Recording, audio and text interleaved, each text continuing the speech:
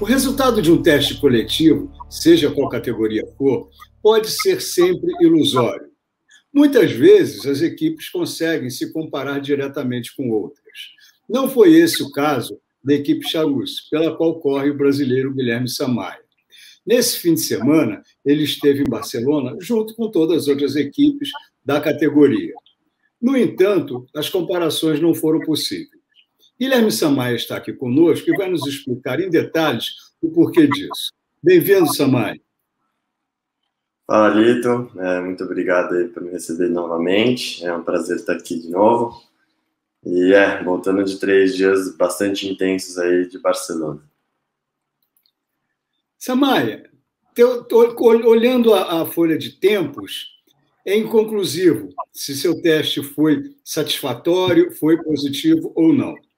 Algumas vezes você esteve uh, atrás da 12 colocação. No último dia, você e seu companheiro ficaram nas duas últimas posições. Mas, de repente, vocês apareceram lá em primeiro e segundo. Onde é que está a verdade dessa folha de tempos, se há verdade em testes coletivos?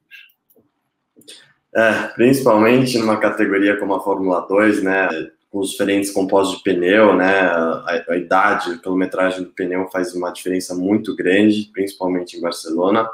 Então, realmente é um teste que é diferente, é difícil comparar diretamente com os outros. Mas você saiu satisfeito do teste? A equipe acha que houve ganhos? Qual é o, o balanço geral que você faz desses três dias?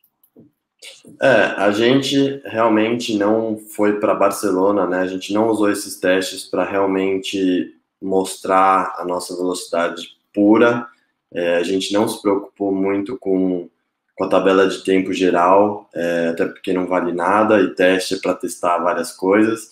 Então a gente usou esses três dias para realmente testar diferentes coisas em diferentes condições, temperaturas, é, né, com diferentes idades de, de, pneu, né, fazendo performance, fazendo é, stints de corrida, com, com diferentes compostos e, e, diferentes quilometragens de pneu para a gente aprender a mudança de balanço do carro, é, enfim, é, a gente usou alguns, é, a gente um pouco de foco, né, é, para consertar, vamos dizer, é, alguns problemas e dificuldades que a gente teve no Bahrein, né, com a diferença de temperatura de uma corrida para outra, é, a gente claramente viu um, né, um desafio bastante grande ali para adaptar o balanço do carro, o setup do carro.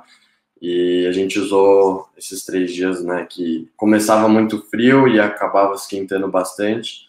Então a gente tinha um foco aí de, de entender e aprender, né, com a mudança da pista, é, as reações do carro e do, dos pneus.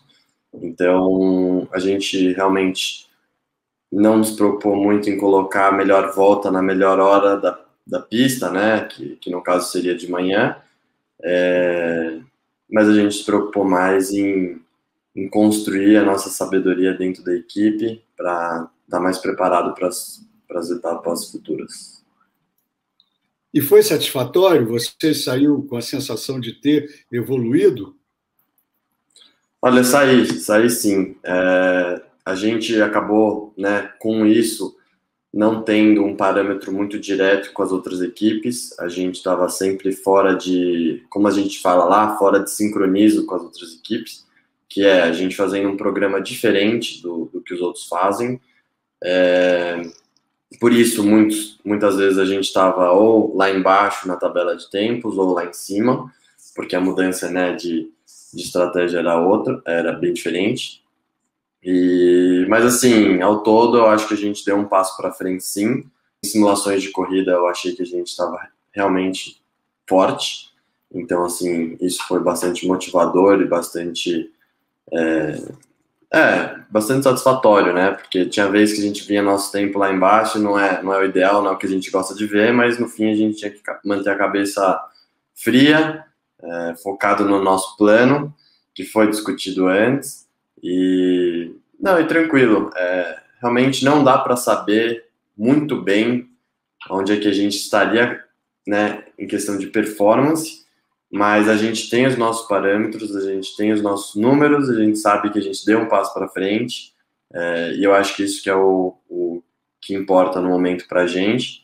A gente não corre em Barcelona esse ano, então realmente a gente só usou como três dias de, de aprendizado.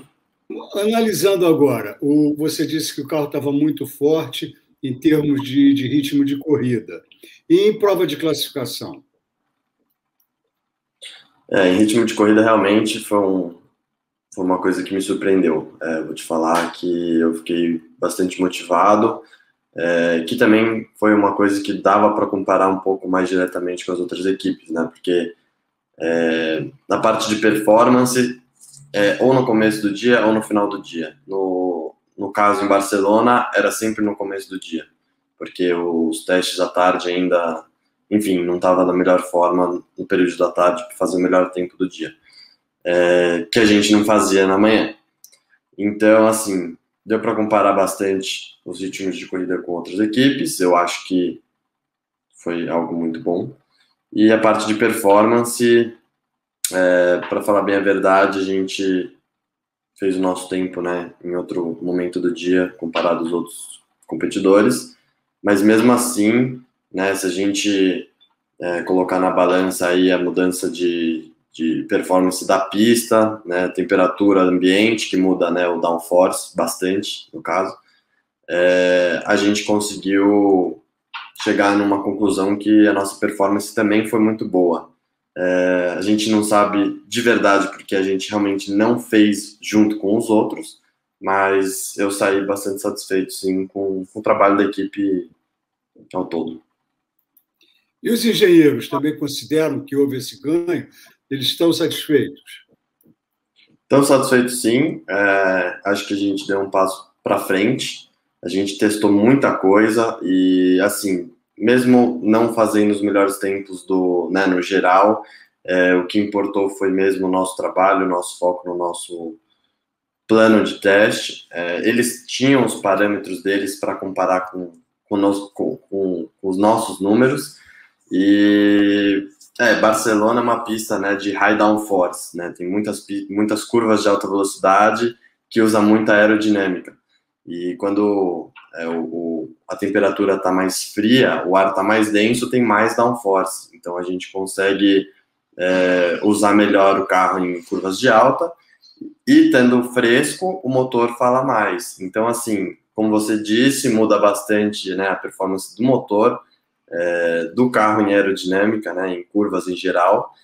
É, tá bem explicado aí, os melhores momentos da pista foram na parte da manhã, mas mesmo assim acho que a gente manteve o foco no nosso plano e, e aprendeu bastante. Agora você vai para uma pista, vai ser 20 de maio, né, se eu não me engano, é, você vai para uma pista que não tem nada a ver nem com Barcelona, nem com qualquer outra pista. Mônaco, Pista de rua, baixíssimas velocidades, a, pressão aerodinâmica pouco eficiente. Qual é a tua expectativa? Vocês conseguem tirar alguma coisa de Barcelona para lá? É, com certeza, né? A gente até acabou é, fazendo um, um, ajuste, vamos dizer, entre Barcelona e Mônaco. É, a gente não não estava muito preocupado com 100% da performance em, em, Barcelona, já porque a gente não corre lá. É, então a gente estava preparando bastante para Mônaco, testando bastante coisa. Com certeza outras equipes também estavam. É, eu acho que não faria sentido nenhum focar em 100% desenvolver velocidade em Barcelona e esquecer da etapa de Mônaco. Realmente, é, são duas pistas completamente diferentes, né? O estilo de guiada. Eu acho que Mônaco vai ser vai ser uma etapa muito desafiadora, né? Principalmente para os novatos.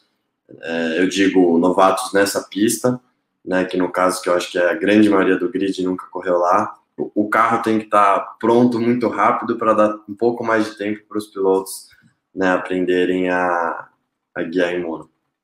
E qual vai ser a sua preparação para essa corrida? Treinar muito a cabeça, né? É, lá é um é um lugar que, como todos sabem, não tem muita margem para erro. E é uma, é uma pista que você precisa ter muito, muita confiança em você mesmo, no carro, é, para tirar uma volta rápida, né? Então, eu acho que vem muito da parte mental. É, eu acho que fazer o máximo de simulador possível para aprender o máximo de cada curva. E como é um circuito de rua, com certeza de ano para ano muda um pouquinho ali, um pouquinho aqui, né? Nunca é igual. É, o grip do asfalto a gente não vai saber como é que vai ser. Normalmente é muito baixo, é, principalmente que a gente não teve corrida no ano anterior. É, acho que vai ser mais ainda. Não sei também porque vai mudar o asfalto. Então, são várias incógnitas que a gente vai ter que adaptar no momento. E, bom, é, fisicamente, mentalmente, também muita técnica ali no simulador para chegar o mais perto, né, mais próximo do, da realidade possível. Guilherme, muito obrigado pela sua participação. Espero que dê tudo muito certo em Mônaco e a gente volta a conversar depois dessa corrida. Valeu, Lito, muito obrigado. É, vamos preparar o máximo possível para tomar o menos tempo para adaptar nessa pista lendária aí. E se Deus quiser trazer os primeiros pontinhos para casa.